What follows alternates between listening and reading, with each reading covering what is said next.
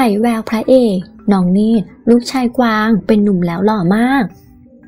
วันนี้เราพามาชมภาพของครอบครัว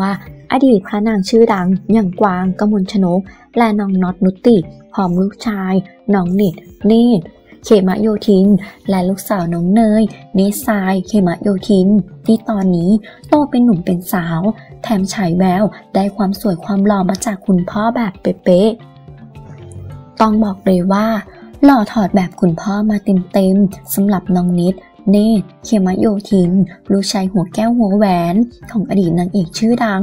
กวางกมลชนกเขมะโยธิน และน็อตนุติเขมะโยธิน ที่ตอนนี้โตเป็นหนุ่มแล้ว รูปร่างสูงมาก หน้าตาละไม้คล้ายคุณพ่อสุดๆ